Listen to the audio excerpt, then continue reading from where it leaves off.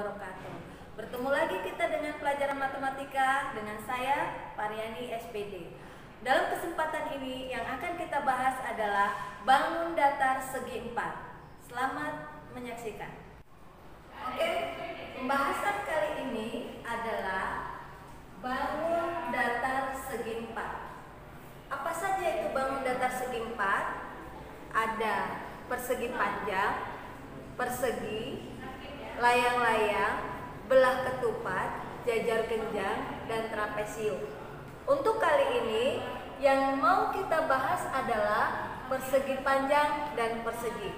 Tapi sebelumnya, kita bahas dulu sifat-sifat bangun datar. Yang pertama adalah persegi panjang. Ini gambarnya. Apa saja sifat-sifatnya? Yang pertama adalah sisi-sisi yang berhadapan, sejajar dan sama panjang. Apa saja itu? Nah, jadi sisi-sisi yang berhadapan, sejajar, misalkan AB itu sejajar dengan BC. Kemudian AB sejajar dengan CD.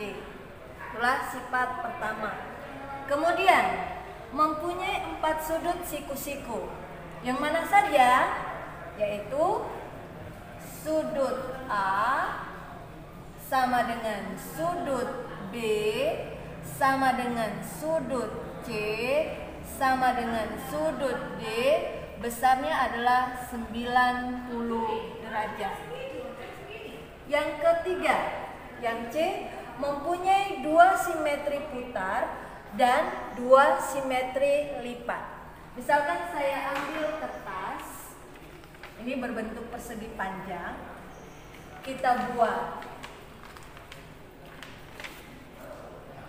A, B, C, D.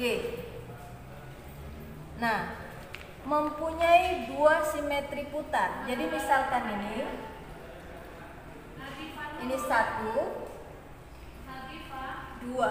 Jadi mempunyai dua simetri putar dan mempunyai dua simetri lipat. Misalkan kertas ini satu,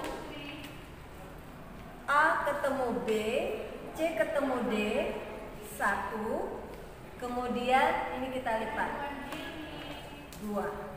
Jadi mempunyai dua simetri putar dan dua simetri lipat. Kemudian mempunyai diagonal yang sama panjang dan membagi dua sama panjang. Misalkan kita ambil A ke C garis ini.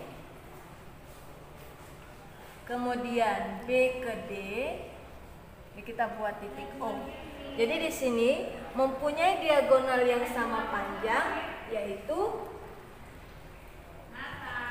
AC sama dengan BD dan membagi dua sama panjang. Apa saja? Yaitu AO itu sama dengan OC kemudian BO sama dengan OD itulah sifat-sifat dari persegi panjang. Selanjutnya persegi. Nah, di sini sifat yang pertama adalah keempat sisinya sama panjang. Apa saja itu? Nah, untuk yang A bahwa panjang AB itu sama dengan panjang BC sama dengan panjang CD sama dengan panjang DA. Itulah keempat sisinya sama panjang. Kemudian keempat sudutnya siku-siku. Apa saja itu? Yaitu sudut A, sudut A sama dengan sudut B sama dengan sudut C sama dengan sudut D besarnya adalah 90 derajat. Selanjutnya, kedua diagonalnya sama panjang dan saling tegak lurus dan membagi sama panjang. Nah, kita ambil garis A ke C dan B ke D. Nah, di sini kedua diagonalnya sama panjang. Apa itu? Yaitu AC sama dengan BD. Saling tegak lurus. Misalkan di sini titik O. Tegak lurusnya adalah membentuk uh, membentuk sudut siku-siku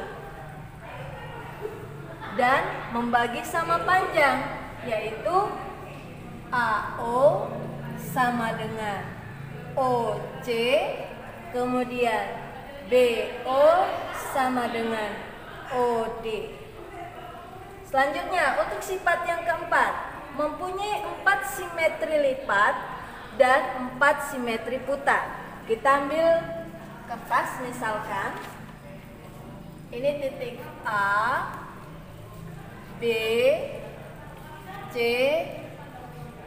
D. Nah, di sini tadi dikatakan mempunyai empat simetri lipat. Kita lihat. Nah, untuk empat simetri lipat, A ketemu ke B, ketemu D. Hitung ya. Satu. Kemudian kita buka lagi. A ke C, A ke C, B ke D dua kemudian A ke D A ke D dan B ke C tiga. Empat. Oke. Jadi di sini untuk yang D nya mempunyai empat simetri lipat yaitu tadi A ke B D ke C. Satu. Ini dia ya. Kalau kita potong seperti ini. Nah ini dia. A ke B D ke C. Satu A ke D D ke C dua. Kemudian garis diagonalnya ini jadi ada empat. Kemudian mempunyai empat simetri putar. Misalkan yang ini. Ini kita putar. Kuncinya ke A. Nanti akan kembali ke posisinya lagi. Satu. Dua. Tiga.